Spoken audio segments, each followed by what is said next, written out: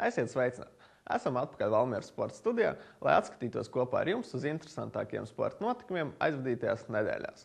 Raidījuma sākumā dosimies Valmieras pārgājas gimnāzijas peldbasēnu, lai noskaidrotu, kāda situācija ir peldēšanā. Tāpatās arī tiksimies ar jauniem sportistiem Uvu Kalniņu un Sindiju Siliņu. Aizvadītās nedēļas ir bijušas ļoti bagātīgas ar dažādiem sporta notikumiem, kā arī Valmieras basketbola un volejbola komandas startē ar labiem panākumiem Latvijas mērogā. Bet raidījuma noslēgumā uz sarunu aicināsim kādreizējo Valmieras basketbola komandas prezidentu, lai atskatītos komandas vēstures lapas pusēs un spožākajos panākumos. Bet nu, skatāmies rubriku Aktuāli sportā.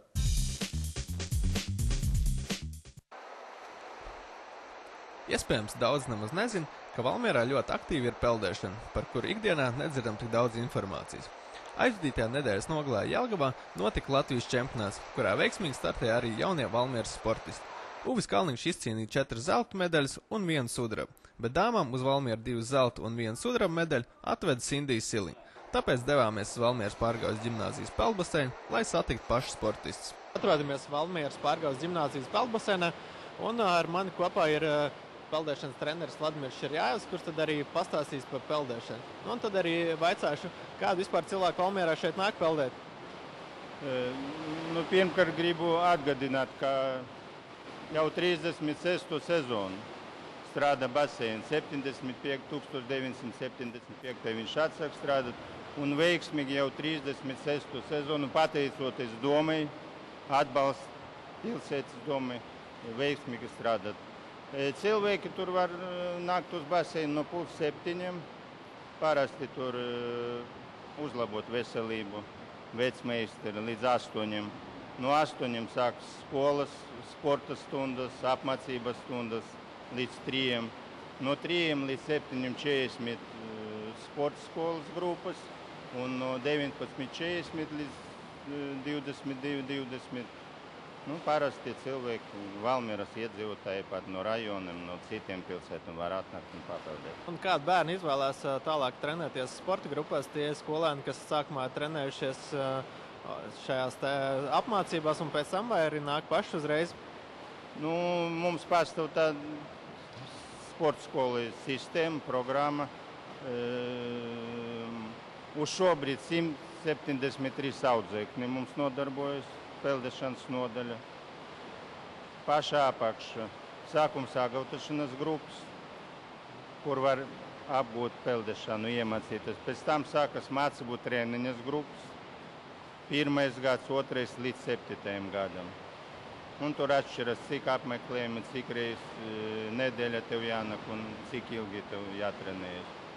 Un paši virsotnes sporta meistarības pilnveidošana grupas kuri peld šobrīd trenējas. Īstenībā tās ir Valmieras labākie peldētāji. Pirmkārt, uz šobrīd labākie sasniegumi ir Rūvim Kalniņam, Sindijai Sīliņai, eh, Eduardam Līsmanim, Kalvim Lākučam. Nu, var nosaukt visus tos uh, bērnus, kuri peldu šobrīd atrodas baseinā. Uvis Kalniņš šobrīd mācās Valmieras pārgājas gimnāzijas 11. klasē. Uvis ir Latvijas izlases dalībnieks un daudzkārtējais Latvijas čempions 400 un 1500 metru brīvajā stilā. Uvis Kalniņš ir ieguvis Latvijas sporta meistara titulu, kā arī startējis Eiropas junioru čempionātā un Eiropas jaunatnes olimpiādē. Kā vispār pievērsies peldēšanai un kāpēc tev ir iepaticies šis sports veids? Nu, peldēšanai pievērsos uh, jau kopš pirmās klases. Es to pavadināju tēvs. Un tā arī laika gaitā iepatikās rezultāti auga, bija panākumi, braukāt pa sacensībām. Nu, ar to arī iepatikās. Cik daudz vispār sanāk trenēties? Nu, tas ir atkarībā no kurā periodā, laika periodā. Ja mēs, piemēram, gatavojamies kādām nopietnām sacensībām, mēs trenējamies 9 reizes nedēļā un vēl plus 2 fiziskajā treniņa, trenižera zālē. Un tā, ja parastajā režīmā, tad 6 reizes nedēļā. Nu, Pastāstiet mazliet par uh, saviem liel, līdz šim lielākiem sasniegumiem, ko es izcīnīju. Jā, pagājušā gada vasarā izpildīju sporta meistara normatīvu. Tagad uh, nesen Sanktpēterburgā uh, nu, diezgan augstas vietas izcīnīju atklātās sacensībās. Tas būtu 11. vieta uz 100 metriem brīvā stāvā. Man arī vairāk rajonu rekordu, bet Valmierā esmu Latvijas čempions. 400 metros un 1500 metros brīvajā stāvā. Kādi tagad ir lielākie galvenie mērķi un starti gan šo sezonu, gan varbūt tālāk mazliet? Šo sezonu tā kā būtu tagad, šo piekdienu Latvijas čempionātā ziemas. Tad nākošais nedēļa Lietuvas čempionāts, aiznākošais nedēļa Baltijas čempionāts. Tad tā kā vēlāk būtu Latvijas vasaras čempionāts, Eiropas junioru čempionāts un tā kā arī uh, pasaules čempionāts junioriem. Tas notiks Peru. Un tā kā tālākie mērķi, protams, būtu Londonas Olimpiskās spēles 2012. gadā. Es iegūstu arī atbalstu no Olimpiskās juniora vienības. Līdz šim tā arī bija tā pirmā reize. Uh, šī man būs pirmā reize, kad nu, iegūšu šo atbalstu. Uh, Pagājušajā gadā pietrūka pavisam nedaudz, bet nu, šogad izdevās izpildīt tos noliktos standartus vai normatīvus. Un kā vispār savu dzīvi es domāju saistīt ar peldēšanu, vai ir kāda cita plāna? Nu, es it kā vēl neesmu izlēmis, bet nu, domāju, ka varētu tā, nu, saistīt savu turpmāko dzīvi ar sportu. Varbūt ne tieši ar peldēšanu, bet kaut ko nu, sporta sektorā. Sindija Siliņa šobrīd mācās Valmieras Viestaru vidusskolas 9. klasē. Sindija ir Latvijas izlases dalībniece un kļuvusi par Latvijas čempionu 400 metru kompleksajā peldējumā. Sindija Stiliņa ir iegūusi Latvijas sporta meistars kandidāts titulu, kā arī startējis Eiropas jaunatnes olimpiādē. Pastāst, kā pievērsies eh, peldēšanai un cik nopietni ar to nodarbojas? Es pievērsos tāpēc, ka mana mamma jau savā vecumā peldēja, kad viņa gāja skolā. Un, uh, viņa vienkārši, kad mēs bijām maziņi, um, mums iesaistīja šajā sporta skolā, un mēs pieteicāmies. Un arvien vairāk trenējoties, man ļoti iepatikās un padevās šis sporta veids, tāpēc es uh, turpināju viņu. Un es jau peldu, šis jau ir devītais gads, kad es nodarbojos ar peldēšanu. Un es domāju, ka man arī labi padodas. Un... Un kādi ir līdz šim lielākie sasniegumi piedaloties sacensībās? Uh, esmu bijusi Latvijas čempione 2009. gadā kompleksā peldējumā. Uh, otrā, trešā vieta Baltijas čempionātā. Esmu tikusi uz Eiropas junioru jaunatnes olimpisko festivālu. Un, protams, savu vecumu, savu vecumu meitenes esmu nopeldējusi un savu vecumu sacensībās minējusi. Kādi šosezon galvenie starti tev plānot? Jā, šodien ir uh, Latvijas čempionāts ziemas, un es ceru labi nopeldēt. Un, protams, ir pēc tam Lietuvā sacensības, Baltijas čempionāts un varbūt vasarā uz kādu Eiropas jaunatnes olimpiādu tikšu. Un cik nopietni vispār savu dzīvi saista ar peldēšanu? Jā, noteikti es saistīšu savu dzīvi sportu. Uh, es pat labi neidu 9. klasē un domāju pabeigt vidusskolu un tad uh, iet kādā sporta koledžā. Arī šīs nedēļas ir bijušas ļoti bagātīgas ar sacensībām vietējā mēroga čempionātos. Tāpat arī mūsu basketbola un volejbola komandas turpina ļoti veiksmīgi startēt Latvijas mēroga sacensībās. Tad nu skatāmies video.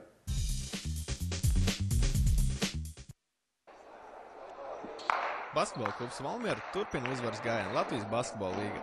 Kopš treneru maiņas jau ir izcīnīts sešas uzvaras pēc kārtas.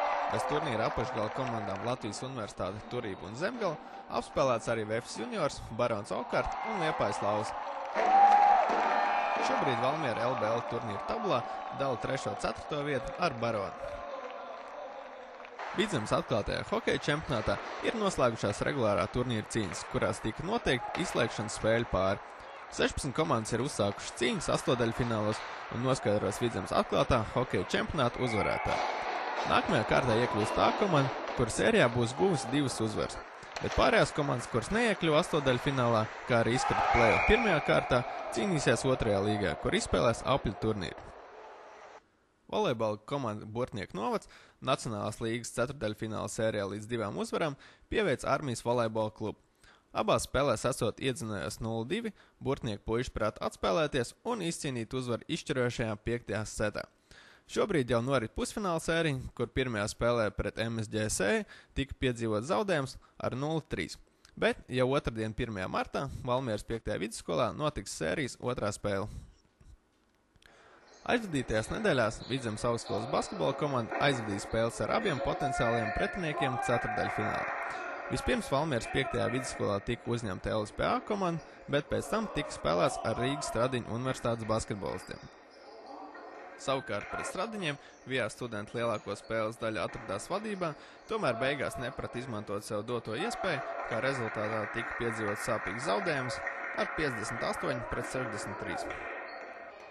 Florbola klubs Valmiera regulārā čempionāta noslēgumā, pateicoties neveiksmīgai pēdējai spēlē, ierindojās otrajā vietā. Šobrīd komandas jau ir uzsākušas izslēgšanas spēles, lai cīnītos par divām ceļzīmēm uz Latvijas florbola virslīgu. Pirmajā ceturdaļfināla spēlē Vidzemes Olimpiskajā centrā ar 11 pret 3 tika sagrauta SK Babītas komanda. Ja uzvar tiks gūta arī otrajā spēlē, tad Valmierieši būs iekļuvuši pusfināla sērijā, kur būs jātiekas ar Ādažu un Madonas komandu pāru uzvarētājiem. Viens no lielākajiem Valmieras sporta entuziastiem ir Guntis Vīgsni. Jau daudzus gadus viņš ir laikraksta liesmu sporta žurnālists, bet savulaik arī bijis basketbola komandas prezidents. Tieši tāpēc aicinājām viņu uz interesantu sarunu, lai ieskatītos komandas vēstures lapas pusēs, kā arī atcerētos lielākos sasniegumus. Guntis Vīgsni. Basketbolam pievērsies, kad 1964. gadā sācis trenēties Cēlus pilsētas sporta skolā. Vēlāk studiju laikā trenējies pie Cēzara Ozara, kā arī spēlējis TTP vīriešu komandā. No 1997. gada līdz kluba darbības izbeigšanai bijis par Valmieras basketbola kluba Šana prezidentu. Pēc tam darbojas Valmieras basketbola komandā par preses sekretāru. Šobrīd jau no 1988. gada ir laikraksts Liesma sporta žurnālists. Atrodamies Vidzemes Olimpiskajā centrā, un šodien uz sarunu esmu aicinājis vienu no Valmieras lielākajiem sporta entuziastiem, Guntu Vīksni. Viņš šobrīd ir sporta žurnālists, darbojas arī Valmieras basketbola klubā, bet par visu sarunas gaitā viņš arī pats pastāstīs. Nu, tad sākšu ar vienkāršāko jautājumu, kā bērnībā pievērsies sportam, kas bija pirmais sporta veids, ko sāk nodarboties? Nu, esmu cēsnieks un bērnībā tāpat kaut kāds futbols. Uz ledus man īpaši negāja tā slidošana. Vajadzēja vienmēr nūju, lai būtu trīs uh, atduras punkti hokeja spēlējot. Bet, eh, principā, kā sāku iet pirmā klasē, tā es eh, sāku mācības arī vienlaikus sporta skolā Cēsīs. Tātad basketbola sekcijā pie trenera Igora Vanadziņa. Nu, un, un, un tā arī līdz šai dienai patiesībā vairāk vai mazāk tajā basketbolā esmu visu laiku arī līdzi darbojies un dzīvojis. Valmjerā ir basketbola klubs ar bagātām tradīcijām. Noteikti bija klāt, kad tas klubs sāka veidoties un kāda bija tā pirmsākuma. Tu domā šādu? Jā. Nu, ja tīri pēc datumiem, tad, tad šāda ir, ir, ir dibināta 94. gadā, cik es zinu. Pirmais prezidents bija, bija Arvīts Kaufmans. Un tad uh, Valmieras komanda spēlēja uh, arī zan, Latvijas uh, virslīgā. Nu, un, un, un kā jau tas uh, mēdz būt ar, ar dažādām sporta spēlēm, dažādos laikos, tad, tad vienā brīdī kaut kas tur bija ar finansējumu, nebija pieticis līdz sezonas beigām, un Valmieriešus šādu izmet ārā no virslīgas. Un tad uh, caur pirmo līgu atkal komanda izcīnīja uzvaru un, un tika apakaļ. Nu, tad tā bija, ja nemaldos, 97.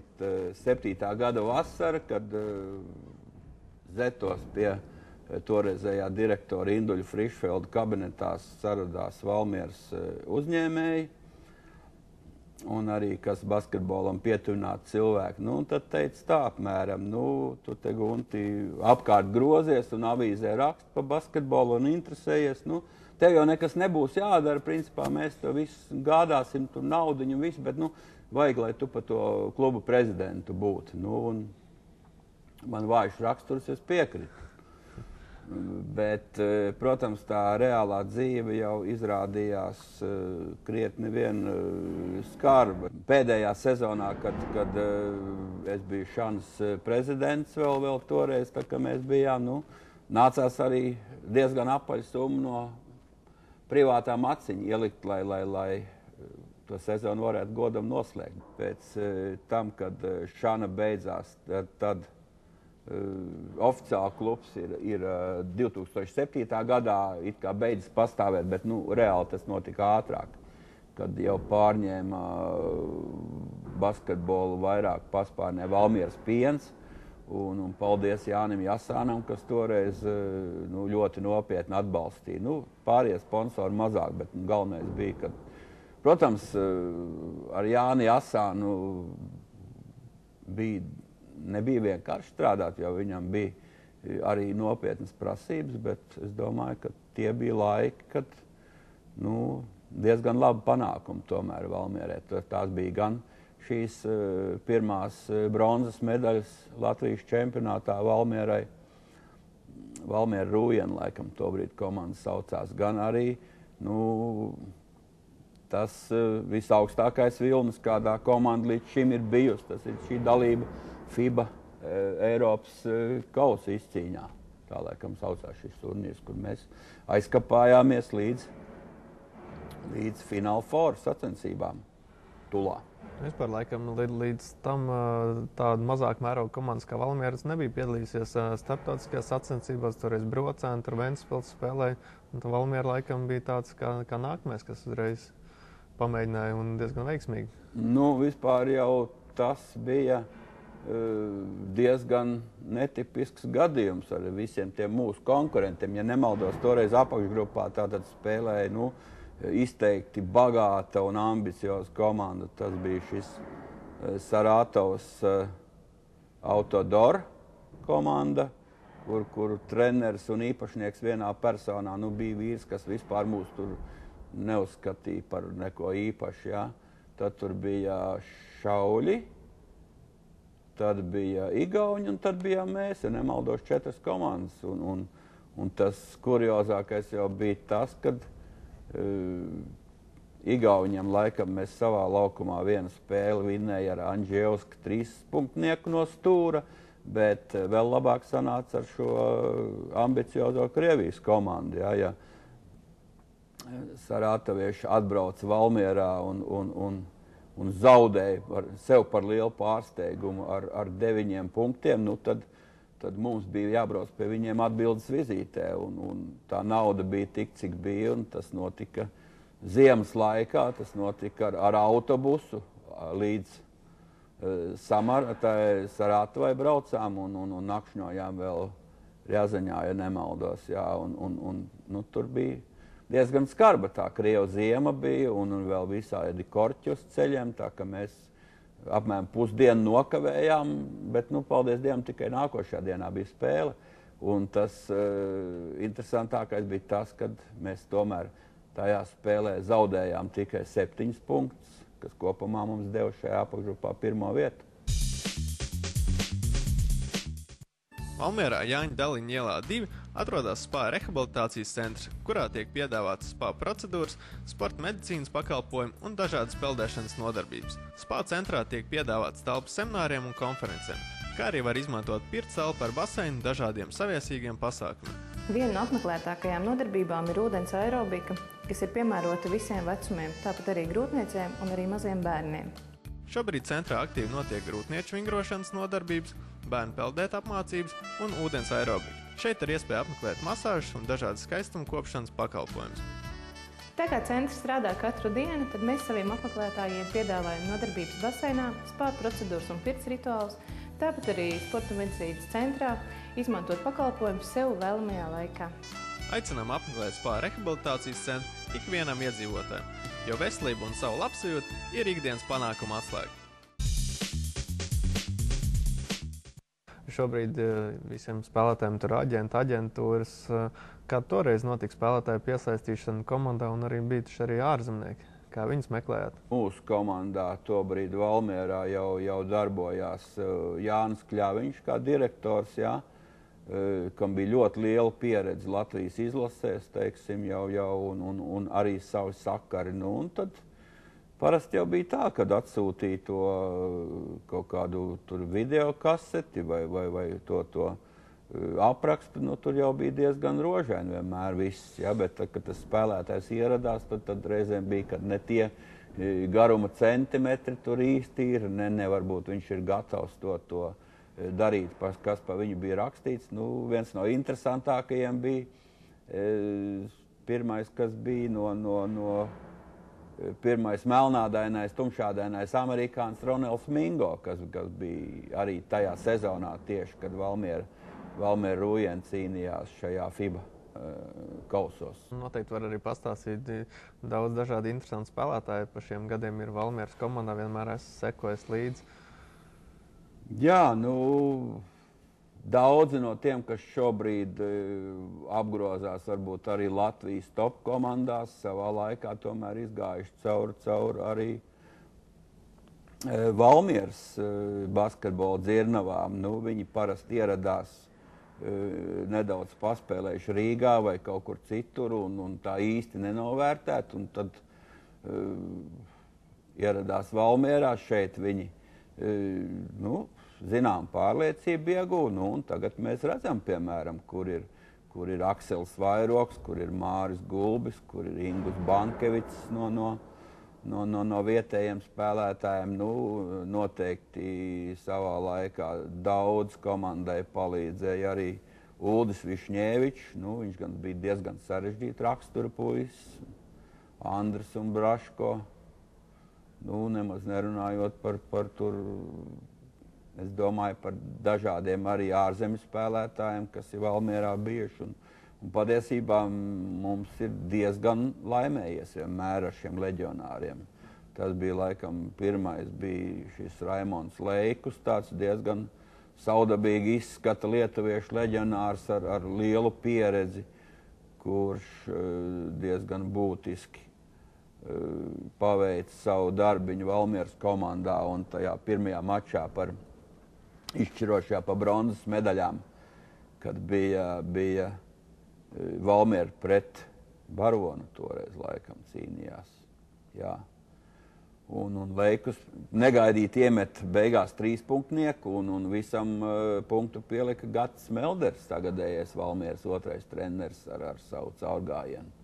Tā mums bija tās, tās bronzas medaļas. Nu, sarunas beigās Valmiera līdz šim augstākais sasniegums Latvijas basketbolā trešā vieta. Kā šobrīd izskatās, vai arī tavuprāt ir iespējas tikt tik augstu? Es domāju, ka mēs pagājušā sezonā varbūt nepratām izmantot arī tāpēc, varbūt, kad pietrūka, pietrūka nedaudz tomēr Gatim Melderim, teiksim, basketbola universitātes, ja tā tēlēni sakot, zinību. Nepratām iespēju izmantot, iespējams, pat tikt pie sudraba pagājušā sezonā. Ja? Jo to bija izdarīt, manuprāt, vieglāk nekā pie bronzas tikt, zinot, kas bija pretī jāspēlē. Nu, šogad nu, kluba prezidents gal, Galvanovskis teica, ka būs šāda medaļas. Nu, iespējams, šo uh, treneru maiņu varbūt vajadzēja darīt ātrāk, bet es domāju, ka arī šobrīd tā kā lietas iet, es domāju, izskatās ļoti cerīgi. Un, un šis sastāvs, ja vēl izdosies atgriezt, teiksim, apritē, Jūrija Anģievski, kas, kas, manuprāt, ļoti būtisks spēlētājs ir komandas mehānismā. Nu, es pieļauju, ka varētu, bet nu, tur ir jāskatās, kā tas būs bumba ar apaļu. Un... Bet es katrā ziņā to labprāt novēlētu Valmijas basketbolistiem. Viņi ir to pelnījuši.